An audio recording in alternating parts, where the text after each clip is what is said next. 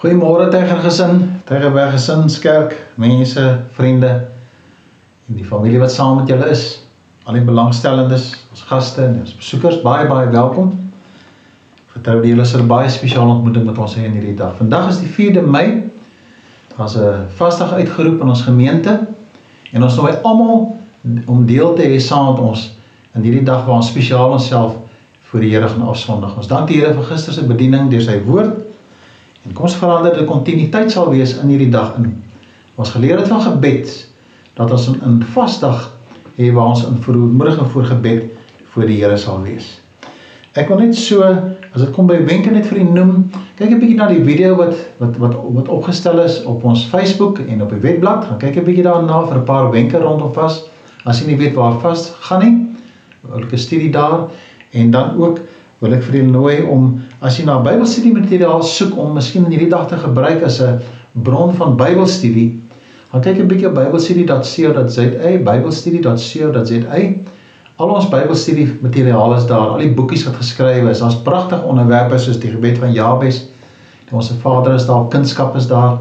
En ek is seker as jy vandag daai boeke neem, kan jy hom dwars deurwerk as jy toegewy daarna kyk. En miskien is daar iets wat die Here vir u sê. As baie besprekingsgoed wat jy kan uitsluit daar, gaan net deur al die tekste daar en ek is seker dat dit van u van groot waarde sal wees. Vasdag. Die vas in die Bybel, kinders van die Here, Ou Testament, Nuwe Testament. Die Here Jesus is so spesiaal, as hy daar Matteus 6.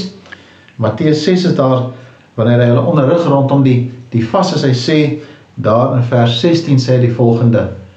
As jy vas, moenie soos die skynheiliges met lang gesigte rondloop nie. Hulle mismaakende gesigte sodat die mense kan sien dat hulle vas. Dit verseker ek julle hulle hulle beloning klaar weg. Na vers 17 sê hy nee as jy vas versorg jou hare, was jou gesig sodat niemand kan sien dat jy vas nie. Behalwe jou Vader wat jy nie kan sien nie. Jou Vader wat sien wat verborge is, sal jou beloon. So wanneer ons vas is in ons verhouding met die Here, maar vriende, jy sê jy nie vir almal swaar kry met die vas nie. Dis nie waaroor dit gaan nie. Kom ons bring die vreugde van die Here uit met die wyse waarop hy vir ons roep om aan vreugde tot hom te kan nader. Net drie gedagtes wat ek gou-gou net vinnig met u deel vir my kosbaar is, daar's baie ander. En Rian en Dominee Johan sal hierdie dag sal met julle deel. Rian 1 uur en Dominee Johan vanaand 6 uur. Wil ek graag dan net drie dinge wat u deel vir my baie spesiaal is kom by vas. Die eerste een is die van verootmoediging voor die Here dat ons so 'n gebed onsself verootmoedig vir die Here dat ons kan hoor wat die Here vir ons sê Esra wanneer hulle wegtrek as ballinge uit Babel uit terug Jerusalem toe. In hoofstuk 8 vers 21 en 23 lees ons die volgende. Ek het daar by die eh, Abba rivier eh, vasdag uitgeroep om ons voor God te verootmoedig, om te bid, om 'n voorspoedige reis vir onsself, ons afhanklikes en al wat ons besit het. Ek was skaam om vir die koning soldate en ruiters te vra om ons teen die vyande langs die pad te help. God het vir uh, ons het vir die koning gesê ons God sorg goed vir almal wat hom dien. En hy straf almal wat swaar wat hom verlaat. En dan baie spesiaal, ons het dus gevas en die hulp van God van ons God gevra vir onderneming.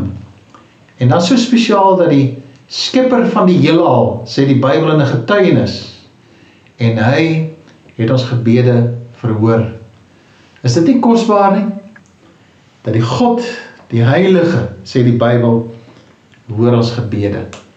Ons lees ook in Jakobus 4 vers 10 die volgende: Onderwerp julle nederigheid voor die Here en hy sal julle verhoog. Wanneer ons ons hart ondersoek vir gebed, miskien moet ons binne vra. Miskien moet God moet ons God meer verheerlik en erken sy grootheid en sy almag uh, wanneer ons so voor sy as sy aangesig is. Nehemia 8 vers 9 tot 10 'n pragtige gedeelte uit die woord van die Here. Daar in vers 9 sê die Lewiete het uit die boek en die wet van God voorgeles en dit uitgelê. Kyk mooi wat sê hy daar. Hulle die betekenis weer weergegee sodat mense dit kon verstaan wat gelees het. Nehemia die goewerneur, die skrifgeleerde priester Esra en die Lewiete wat die gemeente onderrig het, het vir die hele gemeente gesê: "Hierdie dag word gewy aan die Here julle God." Moenie treurig wees nie, moenie huil nie. Dan sê die Bybel dit was omdat die hele gemeente gehuil het by die aanhoor van die wet is dit nie kosbaar nie my vriende die dat die woord ons harte so aangryp dat ons in weemoed voor die Here staan. Dat 'n emosie by jou wakker gemaak word wanneer die krag van die Heilige Gees daardie woord aan ons kom openbaar. Dit is kosbaar dat hulle so benoud dit gelees het en mag die Here vir ons seën as ons so so, so die woord voor die Here lees. En naas die verootmoediging is daar ook kosbaar dat ons kom soek vertroosting by die Here. Ons is in 'n moeilike tyd. As mense baie swaar kry, God vertroos ons. Mense kan ons ook vertroos, maar God is die een wat eintlik wat ons finale vertroosting gee. In 1 Samuel 31 verse 12 tot 13 lees ons die volgende: Wat hier gebeur het, Saul en sy seuns is doodgemaak deur die Filistyne, hulle is teen 'n muur vasgeslaan en nou besluit hulle hulle moet hulle gaan haal. Die Bybel sê in vers 12 en hulle weer manne weer, weer manne manne klaar gemaak en hulle die hele nag deur getrek en die lijk van Saul en sy seuns van die muur by Betsan afgehaal en hulle na Jabes toe gebring en daar verbrand. Na vers 13, hulle toe die bene gevat en onder die tamarisk in Jabes begrawe en daarna sê die Bybel het hulle 7 dae lank gevas. Onthou jy vir Dawid ook, toe Dawid se seun wat hy by Batseba gehad het gesterf het, die Bybel sê hy was baie baie moedeloos geweest. Sy mense wou kom, wou nie, hulle was te bang om met hom te praat. Hy het gevas en hom afgesonder en so die vertroosting ook by die Here gaan vind. So naas die verootmoed en vertroosting is daar 'n baie spesiale ervaring wanneer ons in vas voor die Here kom dat ons ook is 'n belydenis voor die sien. Ons moet ook dinge regmaak tussen ons en die Here. Daar mag nie eers 'n ou miswolkie tussen ons en die Here wees nie.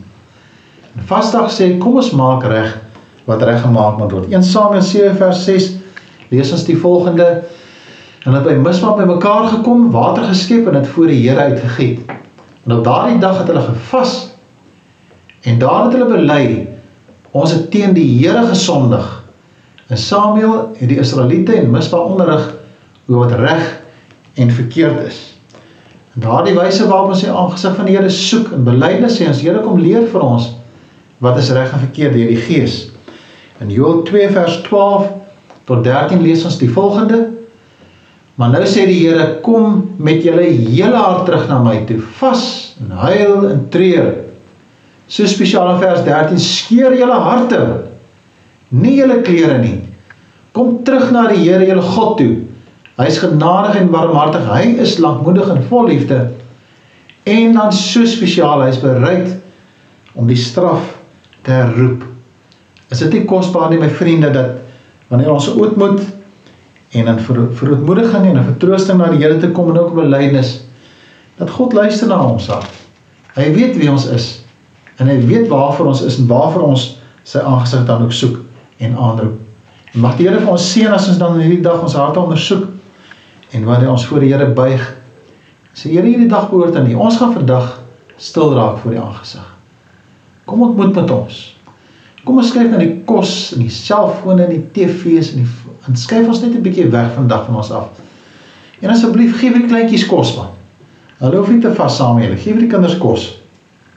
En hy sê gesondheidstoestand het, onthou ek sê nie siekte toestand, gesondheidstoestand het, miskien iets soos 'n uh, suiker siekte. Wees tog verantwoordelik wanneer jy vas. Bly maar by die reëls. Die fokus van vandag is nie die kos nie.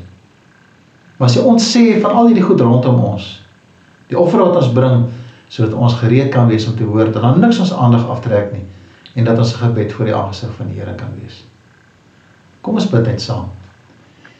En sê ons se Vader, roep ons U aan as die een wie ons vanmôre wil verhoog en wil vereer as die een wat ons harte ken. U ken ons lewens. U weet wat ons nodig het. U ken die antwoorde. Die toekoms is in U hand. En ons is so dankbaar Here dat ons weet dat in hierdie legkaart wat vir ons dikwels so die mekaar lyk, sal U vir ons kom leer om die stukkies een vir een bymekaar te kan sit sodat ons lewe vir ons sin maak. Daarom bid ek vir die wysheid van ouers. Ek bid baie spesiaal vir ons enkelouers. Ek bid vir die kinders by die huise, die skoolgoed wat agterraak, die benoudheid daarmee saam dat U sal kom Here vertroosting vir ons in hierdie dag sal gee wanneer ons in belydenis voor U kom staan ook. Die eer behoort aan U. Seën my boeties en susters wat saam bid in hierdie dag en vas is. En help vir ons Here om daar by U voete daar by die kruis ons harte weer te gaan vind. Die vrae te gaan, gaan antwoord kry, die antwoorde op ons vrae daar by voete daar by die kruis. Amen. Amen. Vriende, julle weet wat julle moet doen vandag. Kom ons kom ons raak ons slaaf in die goed waaroor die Here lankal met ons praat. Mag die 4de Mei vir jou 'n draaipunt in jou lewe wees. As ons vas voor die Here kom en jy iewers 'n aantekening maak in die geskiedenis van jou lewe om te sê op hierdie dag het ek 'n kosbare ontmoeting met die Here gehad. As jy raad nodig het, as jy graag wil bel, as jy iemand wil vra om te ondersteun en saam met jou te bid, asseblief moenie aarsel nie, bel vir my Johan of Rian. Ons bid saam met julle. Maar kom ons verootmoedig onsself in hierdie dag in gebed voor die Here. Amen. Die Here seën vir u, mag jy baie spesiaal vir die dag voor die aangesig van die Here hê. Totsiens. As jy van die boodskap gehou het, like asseblief, subscribe en druk die klokkie knoppie.